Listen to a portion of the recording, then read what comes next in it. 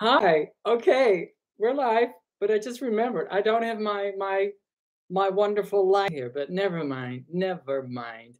That was me rushing around trying to get ready, but um you can see, right? You can see me.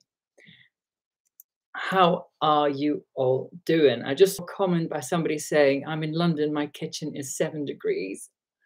It is so cold, but also it's it's cozy jumper time. I quite like that. Okay, let's just see who is in the house. Uh, we have France. Bonsoir. Uh, Washington, USA. Good morning, good afternoon. We have Leeds. It's freezing. Yep.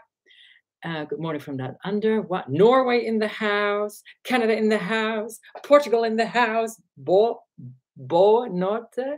Hi from Sweden. Hello, Sweden. I have to learn how to say hello in Swedish. Um, I know tak. Tak is that hi? Because in Polish, that's thank you. Anyways, uh, Denmark in the house, Australia, Michigan, Lincolnshire, Portland. Oh, Portland. Interesting place. Finland, wow, Wales, España, hola, ¿qué tal? Buenas noches. Uh, hi, Gott kvällt. I'm guessing that's something Swedish. Italy. Oh, buonasera. Okay, is there anybody from Greece? I want to show off my Greek. Kalinishta. Anyways, good evening, everyone. Thank you so much for joining. Um, right, just checking my tea. And we do we have any Dutch people in the house? Goedenavond. Zijn er nog Nederlanders hier? Um, okay, oh wow, nice and busy. Hello, Leslie. How are you doing? Um, okay, wow, that's great. Nice. Thank you. Thank you all for joining me. So NVF555. Good evening. Um, so this evening is called, or this live stream is called, um, what is it called? Peak Trans Story Time. Hi, Teeps. Um, and that's because of this book called Transpositions. You may have heard of it, uh, heard of it, you may have heard about the book already. Um, this is compiled and edited by Sarah Phillimore and Al Peters. Uh, Al is better known by his name of Molly or Mole at the Door, who does such fantastic um, photoshopping and creates memes and just creates fantastic, um, uh, such funny artwork and illustrations and all these things for us to to be able to have a laugh in these times of darkness and craziness. Ooh, too hot. Now, this book uh, doesn't show up that clear. Uh, it's available on Amazon. And look how big it is. I was really surprised when I got my hands on it, like it's a proper book. Look at that. Um, so it's called Transpositions Personal Journeys into gender criticism. And this is full of stories by at least 115 different people, most of them anonymous, all sharing their uh, different perspectives uh, and experiences of coming to a point where they thought, what the fuck is going on? Um, and why they couldn't just um, be quiet about it anymore and I've been reading it uh, for a couple of days now. It's it's quite addictive when you when you get going because you just want to hear more experiences, more uh, perspective from different people. Uh, some are women, some are men, some are parents, some are gay, some are straight. So uh, there's a whole. It's very rich, and there's lots of things there to that you can relate to, uh, that we all can relate to. I'm sure, and there's a, a couple of common themes so I would recommend everybody get it. And I'm also very happy that uh, um, my contribution is included in this book on page 265. So I called it the day the day I found my rage. Um, there is one in here that sounds hilarious. What was it about mermaids? I thought mermaids was a swimming club. I haven't read that one yet. Um, so I'll be reading a couple of stories about this uh, from the book, just to give you an idea. Um, and Sarah and Al told me they were very happy for me to do that. Oh, I just had a hello from Hawaii. Oh my days, aloha all the way from Hawaii. Oh, and Liverpool. Okay, from Hawaii to Liverpool, peaking all around the world. It's still too hot, but I want it. Hmm. Um, now, last Friday, exactly a week ago, there was a book launch. There was an event.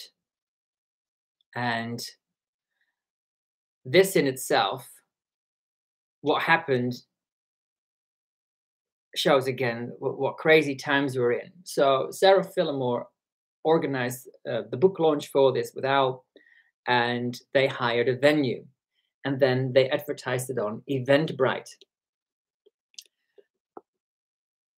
Eventbrite pulled it. Um, and now Sarah Phillimore is taking Eventbrite to court. Then the venue itself said to Sarah, okay, you can have your event here, but please do not publicize that you're doing it here. Because the venue were afraid um, apparently, the reasoning that Eventbrite gave uh, about not wanting it advertised was to do with safety, and that people well, they wouldn't be able to guarantee people safety. Uh, what were they expecting? Lots of crazy people to show up um, and assault women.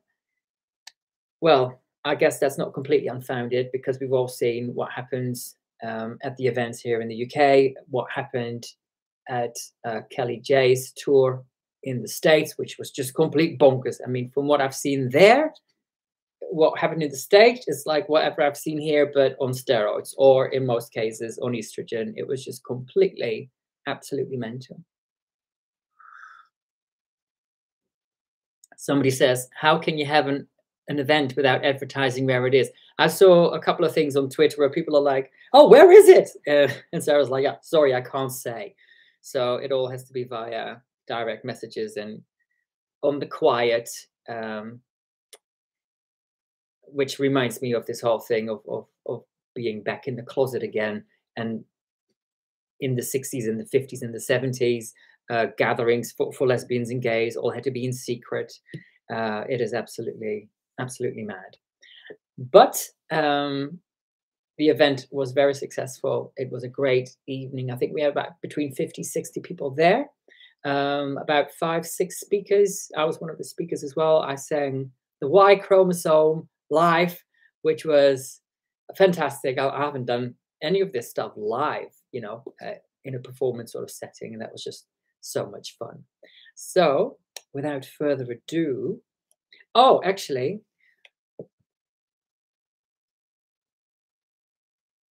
somebody's asking when is the doc coming out? Um, a documentary? I don't know. Which one are you? Let me know what Mary, what it is that you're talking about. Um, oh, the Kellie-Jay Keen documentary. I can't wait for that. Somebody says it's the 16th. The 16th of December? That'd be very quick. Um, okay, so one thing that I've been working on uh, for the last week at least um, is a video that I'm going to call uh, What I Got Wrong About Trans. So I've been doing quite a bit of research and I'm writing the script for it. Um, hi, Ellington, how are you? Somebody asked, Are you vegetarian, Mr. Menno? No, I could not be less vegetarian. I tried. I tried going vegan for like a week or two weeks, and uh, I probably went about it in completely the wrong way. And I came out it thinking I've never loved meat more. So sorry. sausages, steak, bacon, oh, chicken. Anyways, I digress. VFF555. Yes, absolutely. Menno loves his meat. What can I say? Um, I'm making me blush. So, uh, yeah, I wanted to do a, a video where I looked at the key misconceptions that I had that initially made me very um, sympathetic towards um, the so-called trans rights movement. Um, but as I say, these were based on misconceptions. They're very, very common misconceptions that people hold. So I thought if I can do a video where I highlight these three, then other people who might see that and who are sort of new to this might go, oh, but uh, ooh, well, I thought that's I thought the same thing.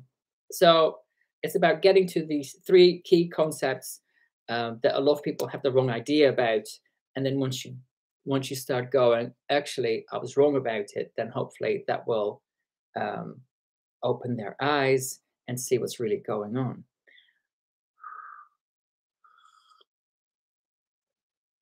Um, so I've been working on that. I've split it into three parts. I've scripted and researched the first third.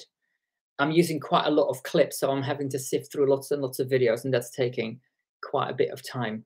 Um, Misty Cat says, Menno loves pepperoni pizza. Oh, hell yeah. I just bought one and it's in the freezer right now. Okie dokie. So hopefully I'll get this video ready.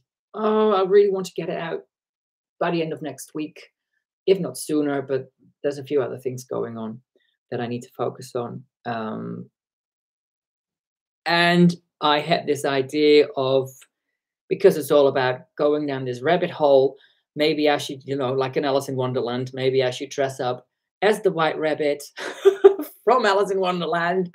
Um, and uh, there's a costume plays on Monday, so I'll go and have a look at that costume there. So uh, I, I, I always think I'll just try and keep it simple, but I never managed to do it. Anyways, um, it is. I've been talking for 12 minutes already. So how about we start with the first story from transpositions. I'm gonna just I'm just gonna read them. While I read them, I'm not gonna look at the chat. And there are so many stories in here. There's about 115. So I, I'll only read like the short ones. Otherwise, um, I'll just go on forever. So here's one that I picked. I hope you're sitting comfortably and hopefully warm. Let's start with this one. Let's just go straight in. Boom. Okay. This one is called My Autistic Daughter Declared a Trans Identity. Most of my life passed without any need to be gender critical. I have no idea when this term even emerged, or rather, when the need for such a term arose. I come from a working class family. Nearly all of my family relatives were what might be considered gender non-conforming. They behaved in ways that came naturally to them. They dressed how they liked, and some fought to get into male dominated positions. One was a firefighter, one was a construction worker. Several had fought as partisans in the Second World War. What is a woman? Well, anything she damn well pleases. A message I raised my daughter with as well, not knowing that what she pleases to be might include a man. I was vaguely aware of the existence of transsexuals, but had never met any personally. The first time I became aware of gender ideology was when I was participating in an internet group for parents around 10 years ago. A fellow member had discovered that her teenage son had been stealing her panties when she caught him masturbating in them. She took him to therapy. The therapist told her to support her daughter. He didn't even identify as female or declare a trans identity.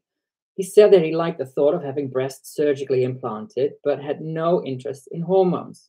He said it was a fetish. The gender therapist insisted he was trans. This mother sent me distraught messages after this distraught message after distraught message, not being able to discuss her fear, worry, and panic in the larger group because they shut her down for not being supportive again of her daughter. Daughter. After a while, this mother disappeared from the group, and I later heard that her marriage had broken down and she'd moved far away. The issue had demolished her family. Weird, I thought, and sad and twisted. And yet, still, it didn't touch my everyday life in an entirely different part of the world. Now, I'm in the same boat. My autistic daughter has declared a trans identity after feeling rejected by society and living her life online during the pandemic. I've raised her the way I was raised, with an invitation to wear what she likes within the budget and to do whatever she likes, pursue whatever interests she likes. A series of internet searches about feeling bad about life and puberty led her down this rabbit hole very suddenly and in a very trance like manner. I love her. I want her to be safe. I know her. I see in her the young ideologue that I once was, ready to defend her ideals to the death if need be. I am terrified.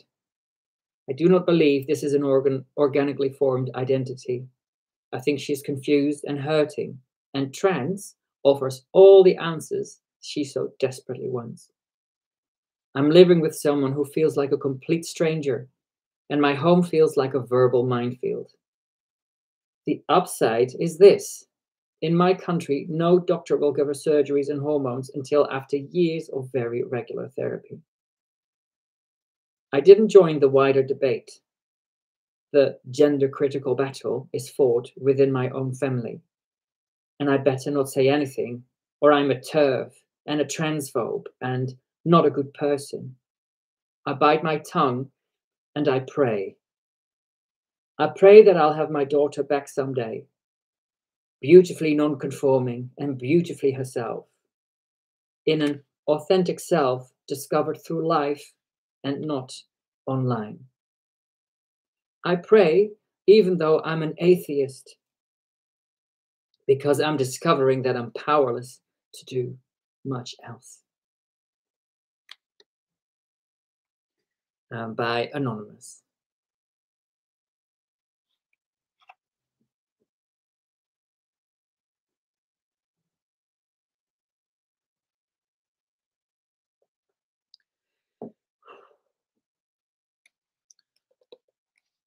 Right, so there's about 115 of those.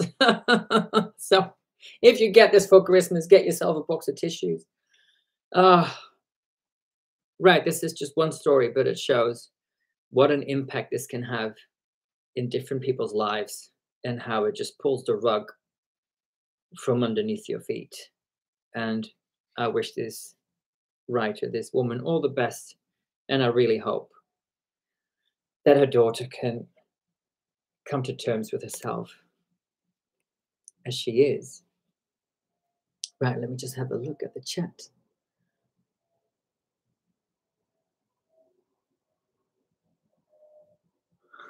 Lizzle says, I was told submission should be short. Oh, well. Um, yeah, me too. I was given a, a, a, a word limit. This one is not too long, though. Look, it's just, it's just, sorry, just that side, and then uh, just over a page and a half. Um, there, there are some that are much, much shorter than that, and there are some um, that are longer.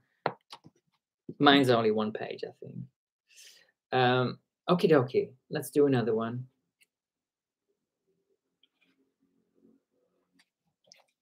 Sorry. One. That's quite a long one as well.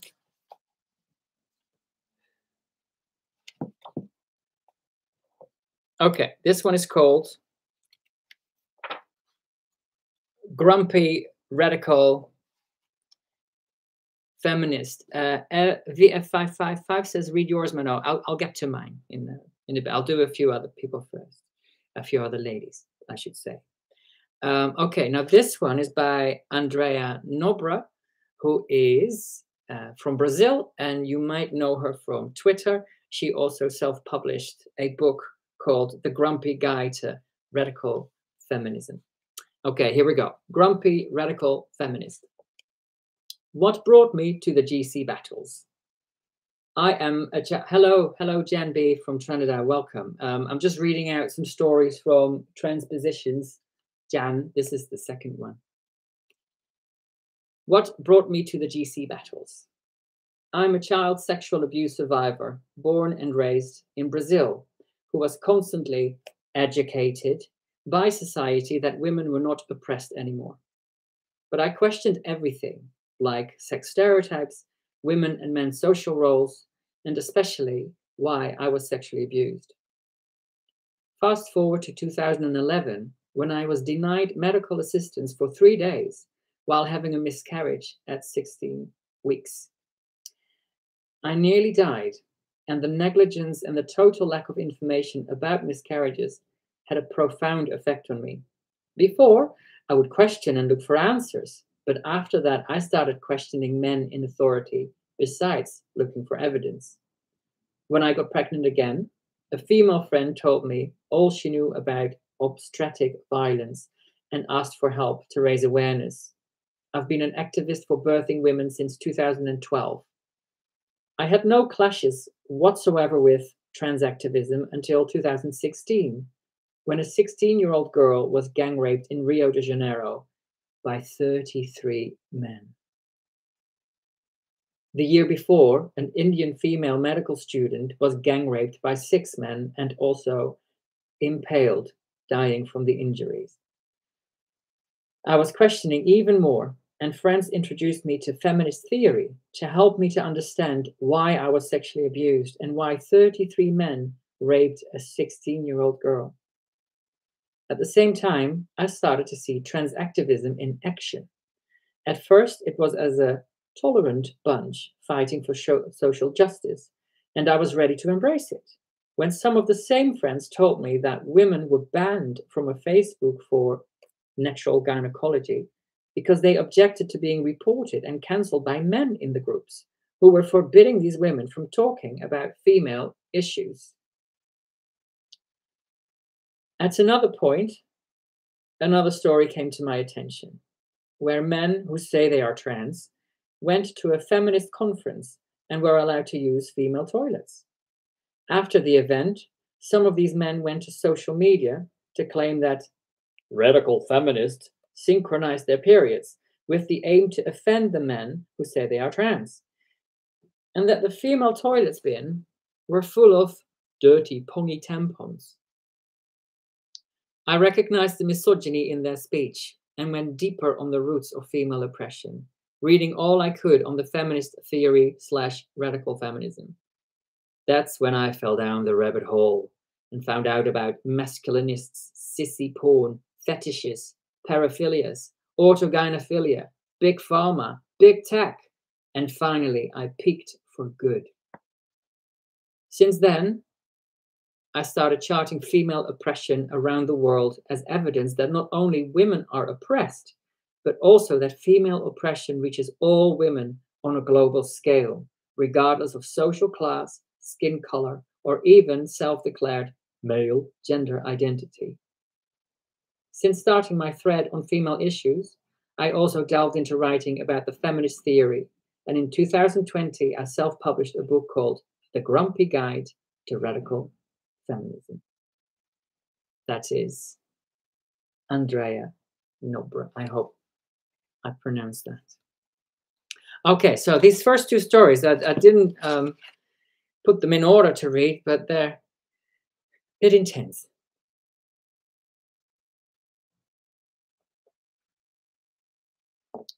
But one thing about picking that I think that we can all sort of relate to is when you say I've peaked, it sounds like it's just one moment whereas it's more of a, a process with stages, stages of peaking. Um, and I find that even when you think you've peaked, you, there's always more times where you peak. There's always something else. Um, it, never ends, it seems.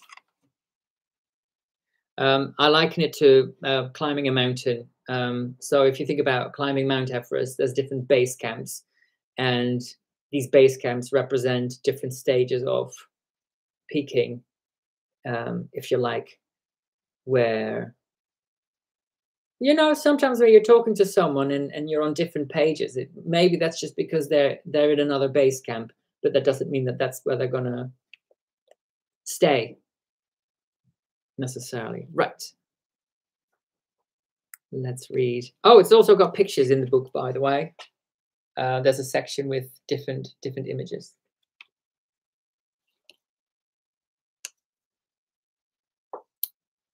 Okay.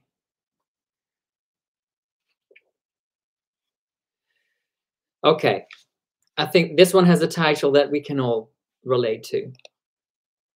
It's called Overwhelmed with Information. It was 2020, and during lockdown, also, right? Sorry. As I was reading these stories, I thought this book is, as you know, intense and, you know, it's it's obviously not happy reading a lot of the time but I thought, what a record! This is such a good record of of an awakening taking place. And I really hope that this is like the first one of many, that many, many more people are going to speak up um, and get their stories out there.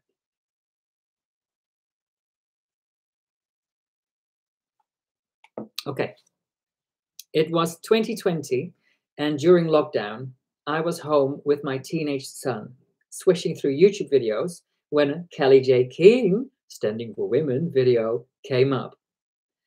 I didn't know who she was or what the subject matter would be, but she was asking that we send happy birthday wishes to J.K. Rowling because she needed support. I was intrigued as to why this would be the case, and so I Googled J.K. and found her now famous tweet about people who menstruate. So back on Twitter, I went to follow JK and to send her some love. I didn't really think any more about it for a day, as I tried Twitter before and not really got on with it.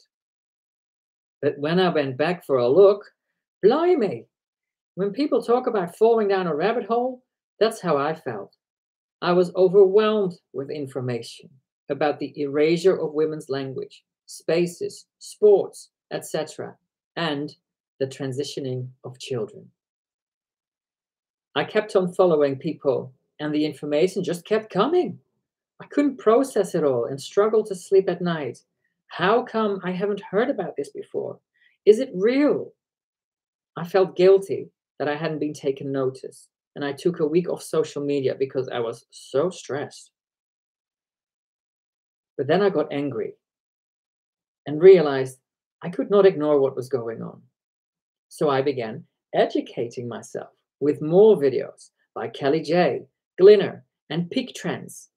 And what a steep learning curve it was. I never really took any notice of politics or feminism. Like many women, I thought the war for women's rights had pretty much been won. Since then, I have been busy writing to my MP, signing petitions, filling in surveys and consultations, gone on a protest, bought merchandise, and given money to countless crowdfunders, stuck up stickers and flyers, handed out flyers in the street, helped with research, joined the Women's Rights Network, and complained many times to the BBC and IPSO. It takes a lot of brain power and sometimes money. We shouldn't be having to do this, but at least now the tide is turning, and maybe there is a light at the end of this nightmare. Okay, that's by Anonymous.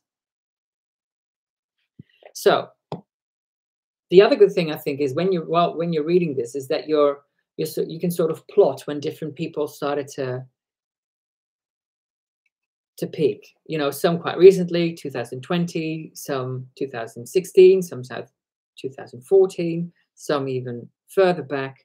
Um, and you can pick up lots of tips from others on if you want to get involved, what you can do. Like this this lady here has, has got involved and done loads of stuff.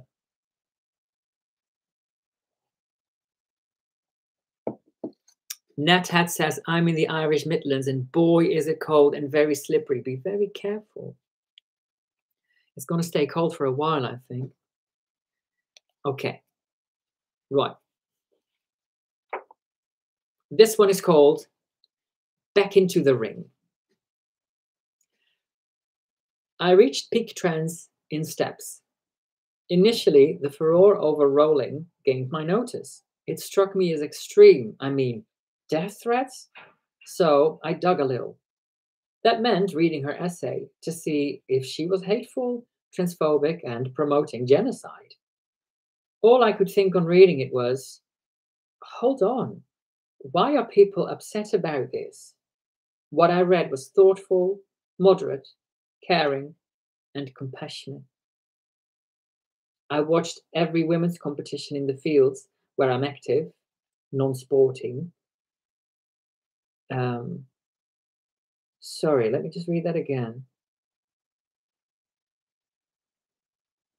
Oh, I watched every women's competition in the fields where I'm active add a clause allowing those who identifying as women. Meanwhile, every organization or group I looked for to for support with my health issues began centering the idea of an inner sense of gender. Groups I accessed for work and personal interest also fell like dominoes. I began having discussions with people I knew. I got brush offs at best. I don't see how it's a problem. And aren't there bigger issues to focus on? And abuse at worst. The usual turf, hateful, unkind, complete with online unfollows and blocks. I cried. It hurt. And I retreated. I reflected, read, and soon realized I could not turn away. I could not remain quiet when the impact of gender ideology was so vast. So, despite the fear, I stepped back into the ring. Good for you. And this is also anonymous. Again, just to see how many of these stories are anonymous uh, shows how difficult it is to, to come out with these things publicly. Just just normal things, plain facts things.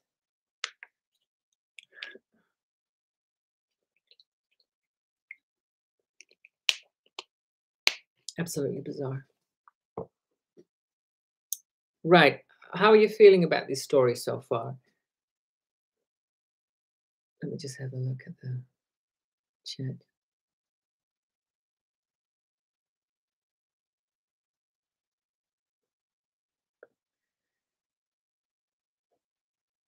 Somebody says there is no way in hell in the industry that I'm in that I could come out as a TERF.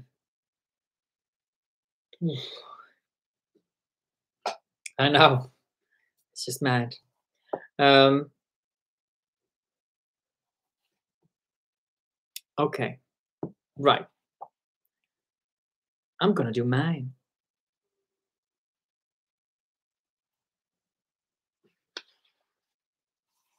Somebody says, I like hearing the stories. It makes me realize how similar all our experiences are. You know, it, it is. There is so much here. I mean, as different, you know, we're, we're a very motley crew of people if, if we have to see ourselves as, as a group. Um, we come from all walks of life, all ages, uh, all experiences. Um, but there is so much, there are so many common threads running through this um, that we can all relate to. Um, and from these stories that I've read so far, it's the emotions in it. It's so heavy, also very rich. Um, and um, and here's mine. So Mine is called The Day I Found My Rage. My peak journey started off in pink sequin hot pants and kitten heels on the 6th of July 2019. It was London Pride, and I was darting around as Theresa Gay, a special incarnation of my Theresa May act, handing out leaflets for an LGBT plus campaign related to Brexit. It was there that I first saw the mantra trans women are women um, on a huge banner as the parade went by. I was puzzled by it. Why would anyone claim that trans women were actual women? I went online to find out more, and before I knew it, I'd slipped down the rabbit hole into gender woo woo land. It was a crazy place where everything was turned upside down. But thankfully, I found the videos of Magdalen Berns and Peach Yogurt, as well as the voices of other women to help me cut through the madness. I began to see the inherent misogyny and homophobia at the heart of the trans movement and its harmful impact through policy, law, and the subversion of language. These were the early stages of my peaking. After about six months, I began to realize how, had I been born a few decades later, my 15 year old self would have probably embraced this gender madness as a way out of misery.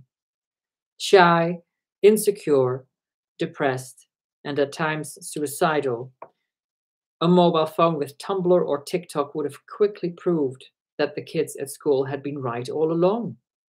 I wasn't actually a guy. It would have explained the bullying, the difficult relationship with my dad, why I never fit in. Off to mermaids I would have gone, magical gender identity in hand, to be greeted by Susie Green. And we all know what would have happened next. But my actual peak came in February 2020, and violently so. I'd been working with a therapist for about a year and a half, trying to piece myself together as the memories of certain experiences had gotten the better of me. These experiences were all rooted in me being a certain type of male. The kind that both the general world and the gay world doesn't always look too kindly upon when masculinity is held, held in such high esteem. One evening, at the start of our session, he gave me a leaflet for a weekend workshop by another therapist. It was an experiential weekend for men to re meet the boy they once were. Sounds great, I said. But then I turned it over and read This workshop is open to anyone who identifies as a man. I scoffed. So the therapist asked me why. I hadn't even realized that I did that, you know. But that's when it happened. A rage I had never known began to pour out of me like a volcano erupting. I shouted, I screamed, I cursed, I cried. The therapist didn't know what was happening, and neither did I. I just felt so utterly violated by those words, like a metaphysical rape was taking place. Here I was, a man who'd learned the hard way how my very maleness had been at the heart of so much pain, ridicule, and rejection, and was working my ass off to find a way to accept myself as the man that I am. Only for these words to suggest that a female can just opt into it? All the regressive social stereotypes I'd been struggling against for decades could now simply be worn as a costume by a woman or a girl and passed off as the same as me? No, no, never. I won't let my reality be somebody else's fraudulent identity. Hands off. It took me six months to calm down. By then, I had found my peace and my voice and I decided to make YouTube videos. So that was mine.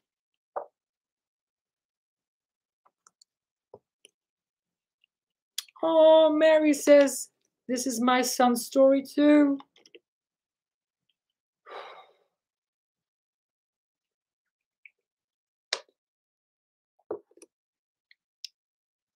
And you know what? I've never been the kind of person to stand up for myself.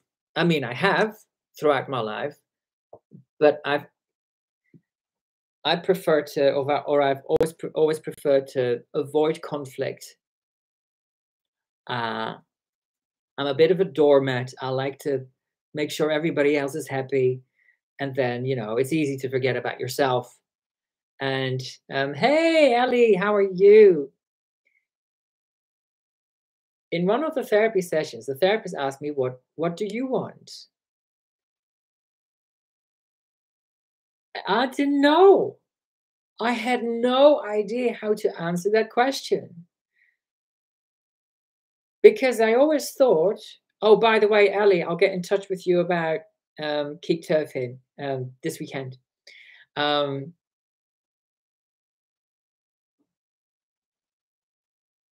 it's just how I'm dis, dis, disposed, I guess, or my personality type, whether that's through socialization or just just built in. I don't know, but um, I'd, I'd, rather avoid confrontation, make sure everybody else is happy, try to please other people, and then um, in Dutch we say you you cijfert yourself weg.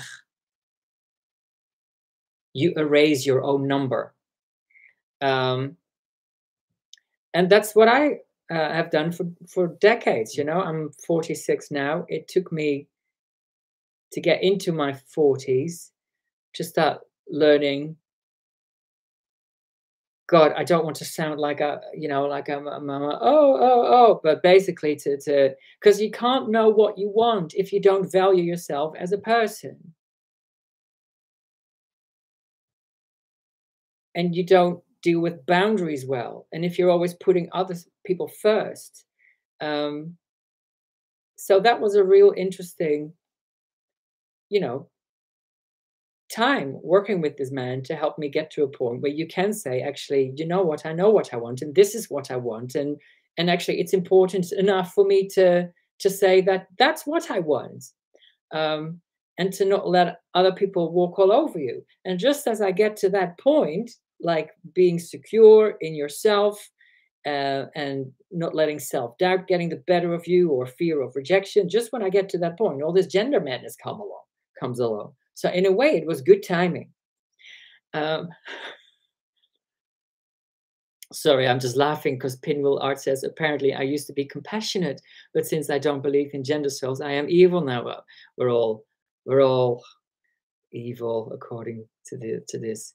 Uh, and Al Catorda asks, Menno, how many friends have you lost but one back over this? Oh, that's hard to answer because some people have fallen away. Some have been, you know, very, have told me that they're unhappy with what I'm talking about. Uh, others haven't. They've just gone quiet. They've just sort of disappeared. Um, I wouldn't say I've lost someone who's then come back, but there have been people who at the beginning were like, why are you so invested in this? Why'd you get so angry about it? But now they can see, they can see it themselves. Um, and that's why I thought of doing this video that I'm working on at the moment. It's about addressing those key misconceptions. Because uh, as soon as you dislodge those things, then people start going, hold on, what's happening? You know, do I want to go along with this? Now that I know that one, trans no longer means having gender dysphoria, for example. Because most people, when they think trans, they think of the old school transsexual idea, right? A person who's got really terrible uh, feels really distressed about being the sex that they are. Uh, they want to escape it, so they go to extreme lengths, into uh, including medical steps, to try and change it. That's the old school idea. And isn't it bizarre how we're now at a point where you don't have to have dysphoria to be trans anymore.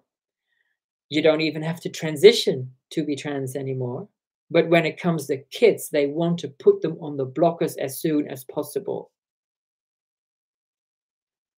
With the kids, it's always about the medication. But adults, no, you can be trans. You don't need to do anything. You don't even have to change your name or your pronouns. You don't even have to change the way you dress nowadays. Uh, it, it's become absolutely meaningless. And still, for the children, put them on the blockers, then the cross sex hormones. Anyways. Um, right, let's read another one. Oh, did I wrap that up in terms of my own thing? stand up for yourself basically stand up for yourself don't let anybody bully you into submission that's the story of my younger life i got bullied quite badly and from the age of six that's very young and that went on till i was at least about nine or ten um, in those days there wasn't any anti-bullying stuff in schools and i was just the lesson I learned from all of that is you deserve this. You deserve this treatment because teachers would say, you're asking for it because of my because I wasn't a typical boy. The parents of those kids that used to it was like a, a group that used to come after me. Even the parents said, well, you probably you, you probably asked for it. Like you you don't go out into the world as a six-year-old and go, yes, please do this to me it is such a crazy notion. It's, and it reminds me of, um, hey, Elder Iceland in the house. Oh, you're saying the same, same here, years of bullying. When, you know, I mean, this was in the the early 80s. You know, I was six, so that would have been 1982 when it all started. And it just went on and on and on. Um, and I started showing signs of being very distressed. I, I started developing these nervous tics. Um, I kept wetting the bed until I was like 12 or something.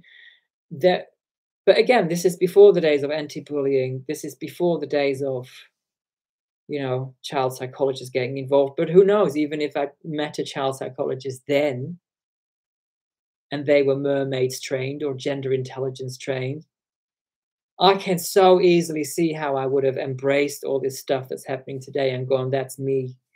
Um, and been banging on the, the Tavistock's doors, so to speak, for the blockers. Um, uh, so, with a lot of these kids that are confused, I can totally see why.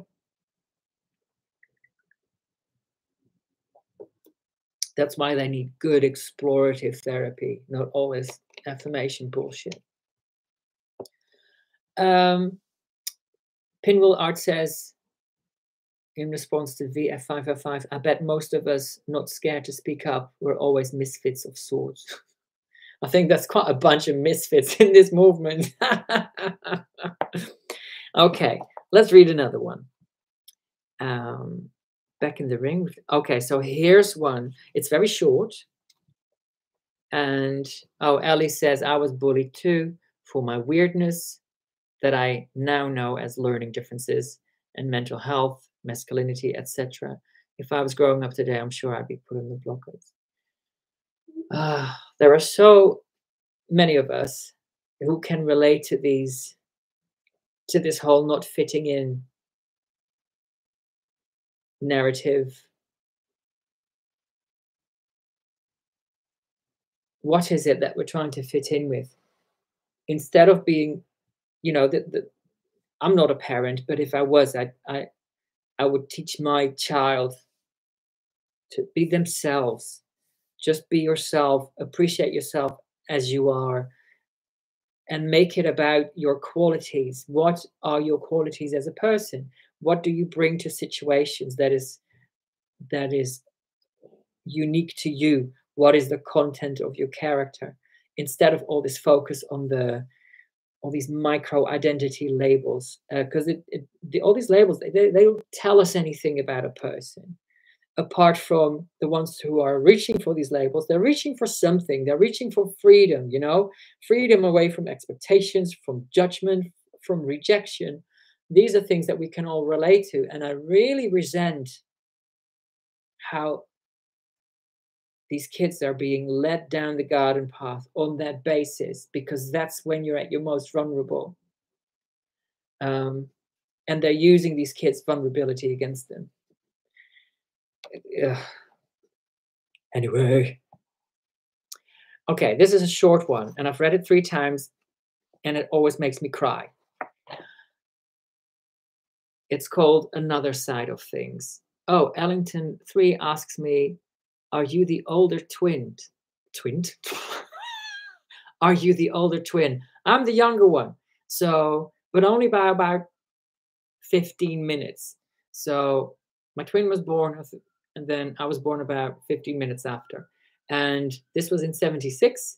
And the doctor at the time thought it was going to be just one, one big baby. Um, instead, there were two tiny ones. And we were so ugly when we were born. Somebody asked, Are you identical? No, because she's female. so we couldn't be more more different um, but we were both ugly babies because we were uh, seven months seven months yeah two months premature uh, so went straight into an incubator how heavy were you both we were both just a pack of sugar so a kilo what is that two pounds or something um, just a kilo we were we were oh, okay so we were like a, the size of a ruler you know, like 30 centimeters or something. Uh, absolutely tiny. And our skin was translucent. We had um, God, we had all this weird hair on our cheeks. You could see our veins through our skin. My dad was like, Are these aliens? and in those days, you went straight into the incubator. So my mom was worried that she wouldn't be able to bond with us um, by the time we get home. And again, because it was in the in the mid 70s, they weren't allowed near the incubator either. All they could do was stand behind a window, you know, and, and look through the window and see a, a room of all these these glass incubators. So ever since I've had Snow White syndrome, encased in glass anyways, we pulled through. Uh, they did. They they had some worries about me. They didn't think I was going to make it. But you know, even in those days, I was in my little incubator, going, "I will survive." Anyways, so uh, this one's called "Another Side of Things." It was early 2018. I lived in LA, and I was posting on Facebook in support of trans bathroom bills in New York City. When I got a direct message from a friend I hadn't seen in about five years, she was a lesbian, a mum, a kind of crunchy granola type. She said, I just wanted you to know that the issue isn't as simple as you think. I just wanted to know if you're open to hearing the other side. I said, Yes, Sure. Because to be honest, Caitlyn Jenner winning Woman of the Year did bother me. I had some nagging questions, but also had a belief that things would work out okay. And I really hate the phrase, rights aren't pie. I could never square that with the history of women fighting for their rights. Anyway, I said, yes, I'm open to hearing another side. And she said, Here's a link to the cotton ceiling. And then here's Magdalen Berns' YouTube videos. I'm so happy to read how Magdalen Berns is part of so many people's speaking stories. Lastly, she said, I'm deleting this thread. We can never ever talk about this again. But I just wanted you to know. I watched those videos and I followed the link. And now I'm really trying to help as much as I can. She and I have never spoken about it again. I'm sure we've crossed paths on Twitter, but I have no idea. Ooh, and this line gets me every time. She was my gender critical lesbian guardian angel. And that's by MJ Austen. MJ, you do this to me every time I read that. I just think it's so sad.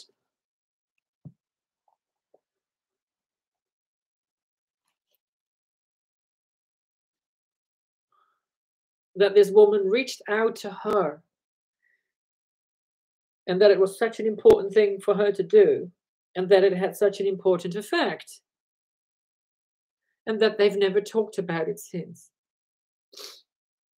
Like she says, she was my gender critical lesbian guardian angel. Oh. And how all this woo woo creates such distance between people. So while at the same time these two connected, it was just like passing ships in the night and then it faded away. And I'm like, why can't you talk? I want to know, MJ Austen, if you ever watch this stream, get in touch with each other, talk, please. It just feels like such a loss. And like you say, that you've you you may have crossed paths on Twitter, but you have no idea. It is the saddest thing how this is driving people away from each other. You know, in terms of these friendships. I need to blow my nose now. Sorry, I just have to grab a tissue.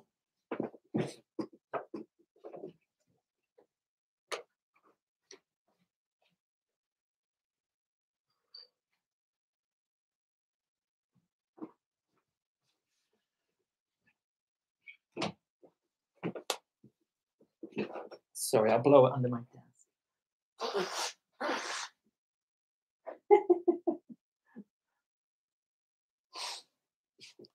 And we're back. Hi. Um, yes, how this this gender rule disconnects people when they could be close. They could be strengthening their friendships and their relationships, but it tears people away from each other.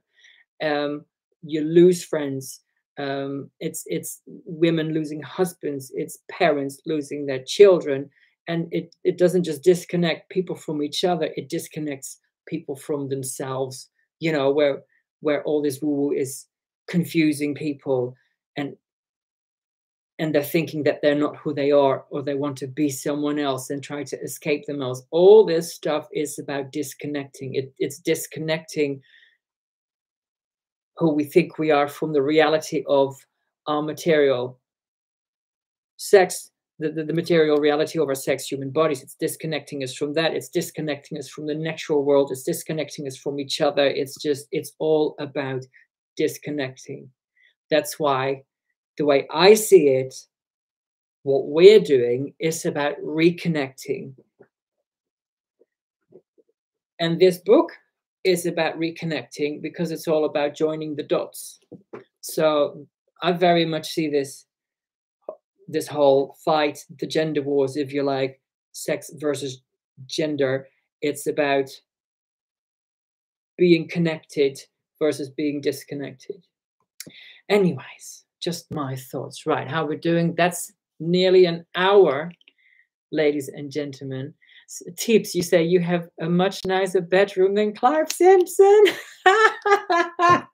you know, I saw a picture of that bedroom and I'm like, at least, at least Clive is busting stereotypes here that all gay men have good taste. So thank you, Clive, for busting stereotypes. Man, what was going on in that room is like flower, flowery wallpaper, and then a framed picture of a flower on the flowery wallpaper, and some real busy pattern on the bedspread, and and pink everywhere. It was just like like somebody just vomited confetti all over the place. Um, anyways, but uh, I might be doing one of the things, one of the, you know, he does Queen's speech with Dennis Kavanagh, so I might be a joint, be a guest and then uh, I shall tell him tips that you and I have issues with it. I've seen other messages about it. It's quite funny. Um, Carolina Brannan. Carolyn Brannan says Magdalen Berns is who peaked me. She was beyond a legend. For me, she was a huge, huge influence. Um, somebody said I was late to the live, but glad to have heard some. Thanks, Menno. Thank you, Reed. You can always, you know, um, replay it from the start. Um, okay, I'm gonna do. I'm gonna do one more, and then um, I feel like I fulfilled my obligations because I said Peak Trans story hour, and we've done an hour. So uh, I didn't want to do half an hour and then be accused of false advertising. Okie dokie. So let me see. This is quite a long one that I picked out, so I won't do that because it's it's just quite long. Um, for anyone who's just joined, these are oh SSS SSS is saying somebody posted your Y chromosome song on Discord last week, and I was like, lol, how is this not banned? I don't know. But some social media places have taken issue with it and sent me messages, and I've had to delete stuff. So it's, uh, I'm surprised it's still up. Um, also, on Facebook, for some reason, the my video about Ricky Gervais versus Nish Kumar suddenly picked up steam again and is now on 431,000 views. I'm like, wow. I mean, obviously that happens with videos, um, but still, for me, that's an incredible number. And quite a few people on um, my Facebook page has now grown and it's just hit 10,000 followers, which is great. Somebody says, I whacked it on Facebook. Oh, thank you. Um, and somebody, Chris B says, I watched Y chromosome in the Wetherspoons just off of Brighton Beach. I was waiting for someone to tap me on the shoulder. It did not happen. Oh, great. Well, I, I hope you listen with your headphones. Um, somebody else says the misgender funk is my favorite. I loved working on that one. Uh, Al Katora asks, Menno, do you and your twin sister observe your premature birthdays as well as your official ones? No, I never even thought about that. No, just our birthdays, which is the 19th of June, 76. So we're twins as well as Geminis, which might I explain a few uh, of our character uh, characteristics. Um, okay, where was I? Where, where was I? I was going to read another one, right? Grumpy Radical Feminist, I've done. Oh, yes, and for anyone joining, I'm just reading stories about um, transpositions. Misty Cat says lots of turf seem to be Aries. Actually, I have an Aries moon, apparently. Um, so maybe uh, that's where that comes from and we have a Pisces in the house. Uh, I think uh, actually, when I was in my early 20s, I would do readings. I, I, would look at people's astrology charts and I would make little booklets for them uh, about what it all meant and put pretty pictures in there and uh, make it really nice. Um, I was really into it at the time. I used to combine the astrology with the numerology and then like spend a couple of days making like a bespoke individual book booklet for someone and then um, split it into two parts. So the first part is what is it that makes you tick? And then the second part is why are you ticking in the first place? So it's not like I ever believed in it as such. I just thought it's it's interesting as a frame of reference just to see what is it that you relate to, what is it that you don't relate to, um, because that tells you much more about who you are than just the text itself. Um, and at the time, I, I, thought it was I thought it was quite interesting. Uh, so we have a Scorpio in the house. So the Scorpios apparently are the psycho bitches of the zodiac, and only a Scorpio can ever un- sort of understand another Scorpio. The rest of us are just like, what the hell is going on with you? and Pisces, Pisces are the dreamers. I mean, if we're just talking at it in, a, uh, you know, on a superficial level, um, the idea is that Aries is the first sign of the zodiac, and Pisces is the very last sign. So that's why Aries apparently the the energy is all very impulsive because it's all about beginning. It's about planting seeds and then getting bored and moving on.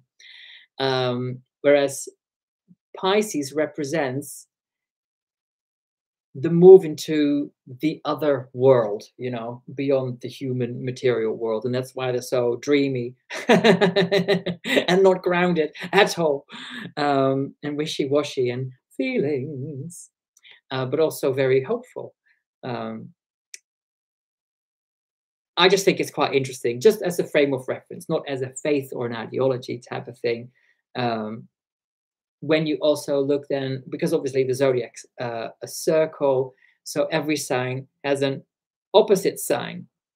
Um, Ellie says, "My, I'm such a dreamer. My mom used to call me Dolly Daydream. Dolly Daydream. Funny. Um, so right, every sign has an opposite sign. So that's the that's the sign that will bring out the the best in you, but also the worst in you. But um, as I say, I just think it's interesting to look at all these different characters or qualities that are associated with these different signs, what complements another, what fights with the other, and how you can sort of use that as a frame and reference for yourself, you know, to see where your own strengths lie and where your own internal um,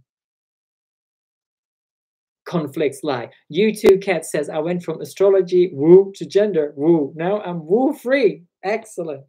Okay, let's pick one other. Um, okay, I've read that one. I've read that one.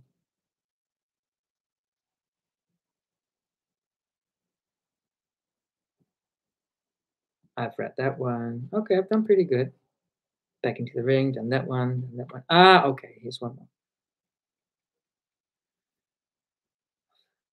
Oh, this is one is good. This one's called Had Enough. I'm sure that lots of us can relate to that one as well. Okay, so last story of the evening. Now, when somebody, uh, Millie says, apparently I'm some sort of special snowflake as I'm born on the cusp or something. I don't believe in astrology woo either. Okay, so when they say that you were born on the cusp, uh, that means you were born in the week where it changed from one sign to another. So in astrology, that is obviously, for example, you have Aries, then Taurus, then Gemini, then Cancer, then Leo, blah, blah, blah.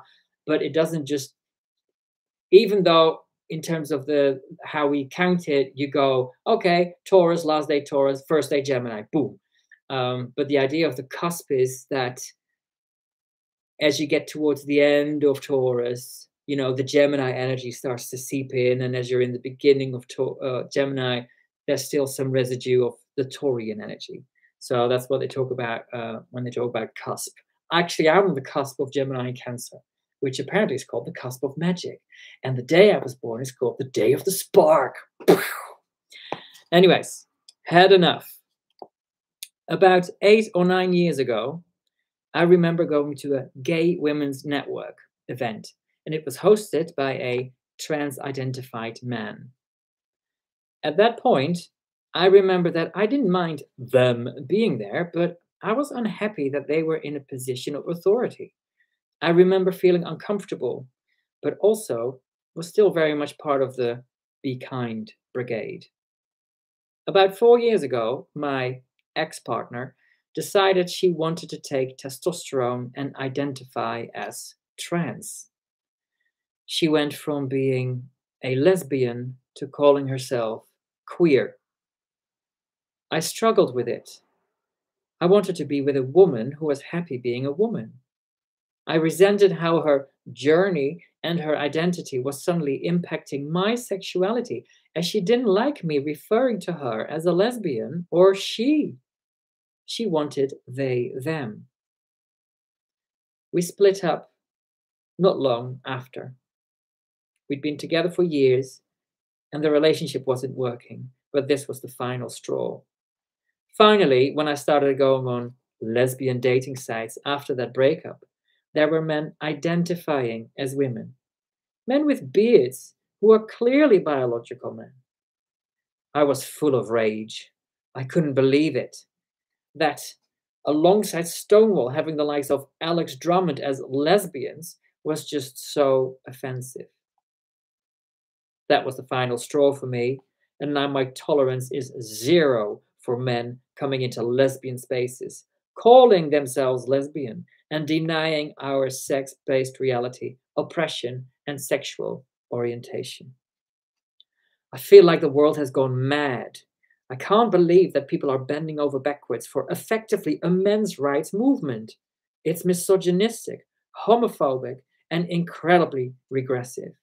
We need to stop this madness, but it's exhausting when political parties, institutions, and corporates are buying into the narrative under the aegis of inclusions, inclusion. Women and lesbians specifically are yet again at the bottom of the pile, and I have had enough. It impacts all parts of my life and has had a damaging effect on my mental health and well being. Anonymous. There is so much in this story that I agree with. And again, we see the heavy toll it takes on a person. But also imagine that your relationship ends. You come out of a lesbian relationship where your partner doesn't even want to acknowledge that you're lesbians anymore. And then when you try to meet someone new, you're on dating apps and all you see is men. It is absolutely mental. I'm very happy that at least she got a chance to sort of get it off her chest and put it down and now has it published in this book so that we can read it and and I hope that she feels like she's not alone in this because obviously she isn't because she's here in this book with at least 115 others. I just read a comment from someone that I can't read out. Via 555, you always get me in trouble. So, somebody says Magdalen Berns should be here to see the fruits of her amazing work. Did you ever meet her, Menno? No, I didn't. Um, I came across her videos in 2019, um, and I think she passed away in 2019, didn't she? So it was probably just a few months before she passed. Um, hi, Abel. How are you doing? Hope you're well. Um, right. I'm going to leave it there, everyone. Um, I've read, how many have I read? About six, seven, maybe. Uh, I hope you enjoyed that. Um, and if you want to, to get your hands on the book, or you can gift it to someone for Christmas. I'm not being paid for this. Okay. I just think it's a great book. Um, and it's really important that we know that all these stories are out there. Uh, as I said earlier, this is like a record of an awakening.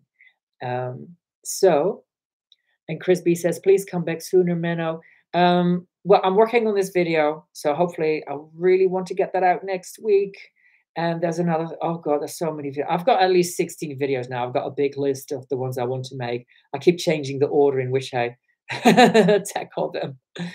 Um, so, transpositions uh, compiled by and edited by Sarah Phillimore and Al Peters, uh, aka Molly. Um, you can get it on Amazon. Somebody said that they couldn't find it on Amazon in the States. Uh, I don't know about that. Um, but Millie says, I've got it in my Amazon basket now. Woo, woo, woo. Oh, and you too, Kat. Thank you so much for your five pound. That's so appreciated. Um, I know times are, are pretty tough. Uh, energy bills going up. Everything in the shops is going up. Have you noticed? Oh my God, it's just mental. Um, even my favorite pepperoni pizza has gone from 150 to 175. But you know, in percentage terms, I know that's a really cheap pizza. It's a really cheap pizza. It's Sainsbury's from the freezer. Uh, but I like it better than the Pizza Express one. Um, And just around the corner from where I live, I, I do eat good pizza too. You know, there's a there's a small local pizza place where they just have such gorgeous, amazing. Oh, Chris B, thank you so much for your ten pounds. And it says number one fan. Woo, woo, woo, thank you. No, I really, really, really appreciate that. Um, it, it, it really helps, makes a big difference. Uh, thank you.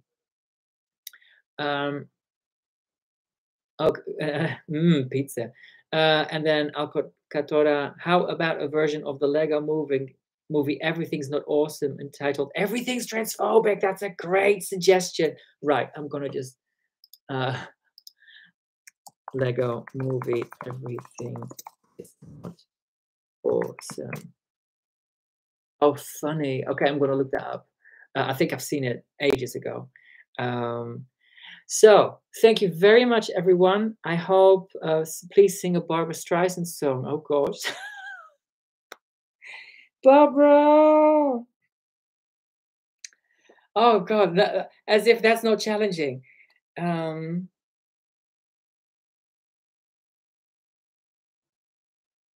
okay, earlier I was talking about the importance of learning to appreciate yourself as you are and she has a song about that. I think it's called I Want. And I won't sing, sing, sing it. but I think she starts off singing, okay, let me look up the, the lyrics and then I'll just do a little bit of that. Because I think this this song for me in my in my mid-20s had a message that really hit home. Um Barbra Streisand. Um, lyrics to I Want.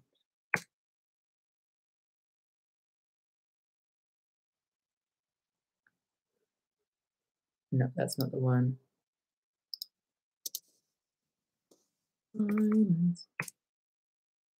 Right, it's called All That I Want.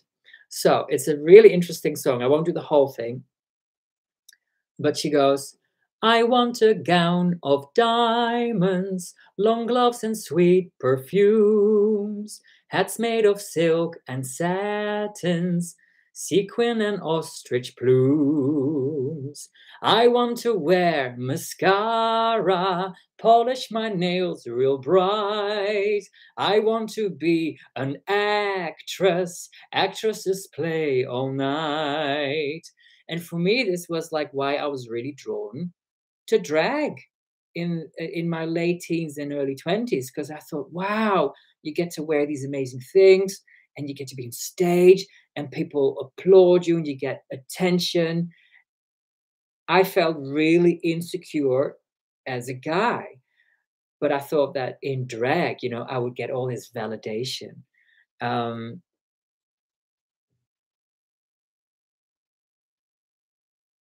and then she goes, I want to find my true love like all the love songs say. I want to do what I want. I want to get my way. So it's all about I want and the big dreams. Um, but then she, in the bridge, she sings, While dreams grow wise, wild dreams grow wise, when sweet childhood, oh God, I can't speak, when sweet childhood flies, time waved a hand and the breeze blew the sand from my eyes.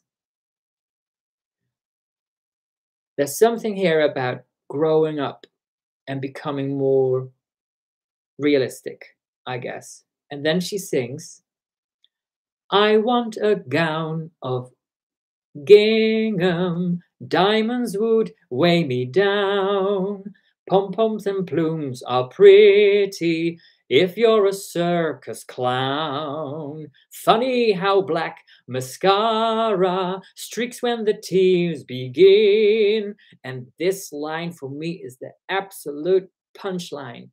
Nail polish, rouge, and powder can't paint the sparkle in.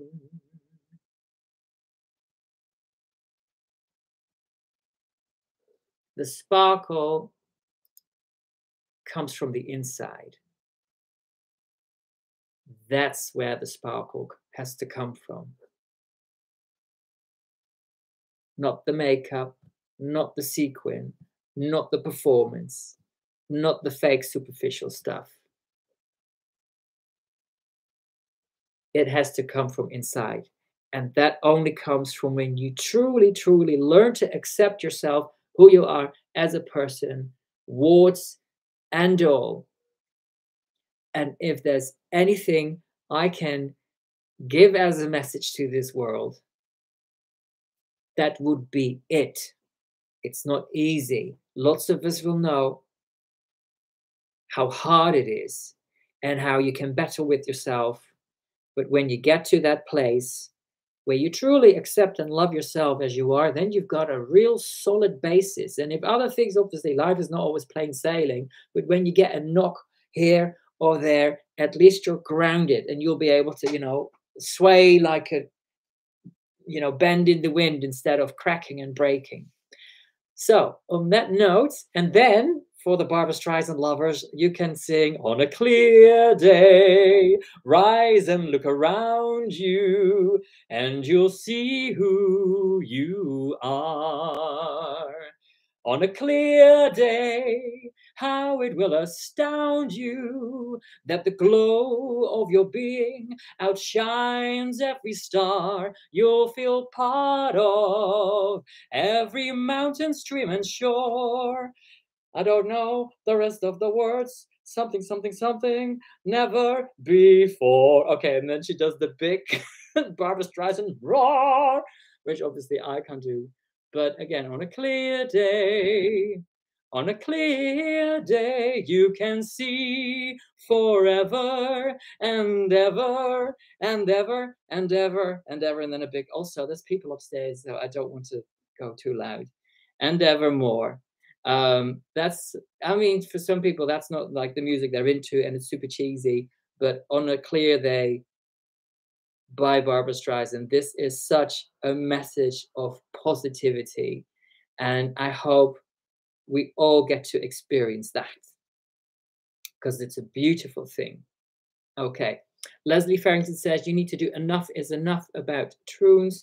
Um, actually, me and Barry months ago in Manchester, uh, when we met Leslie, that uh, the day after I met Barry and um, you know the EDI Jester. We met in a in a pub and had lunch.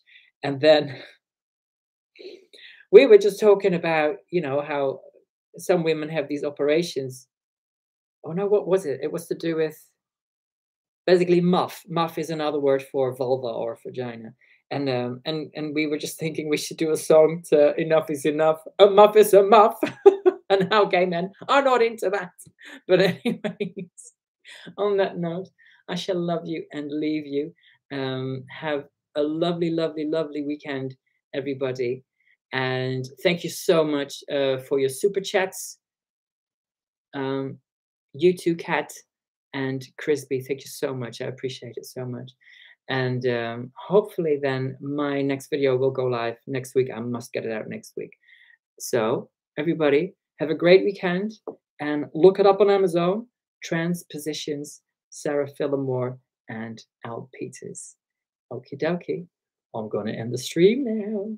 On a clear day, rise and look around you, and you'll see who.